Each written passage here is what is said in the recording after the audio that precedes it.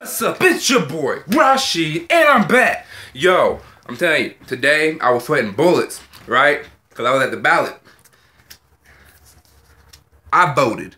Yeah, that's good. That's right. I voted. Uh huh. Yeah, voted for Hillary. Fuck Donald Trump. What you mean? You know, we don't do that, Donald Trump. Yo, man. Tonight, if I see Donald Trump as president, or in the morning he's he became president, like y'all don't know, all hell about to bro- break loose. Like if he become president, yo, we all going Persian on the ass. What you what you mean? And that ain't no threat. That promise. Just letting y'all know that. But yo, man, like I don't have time for Donald Trump, bro. I mean, I could put up with Hillary, but I don't have time for Donald Trump. None of us do. Fuck you, me. But yeah, I voted, so y'all need to go vote too. If y'all haven't, y'all need to go.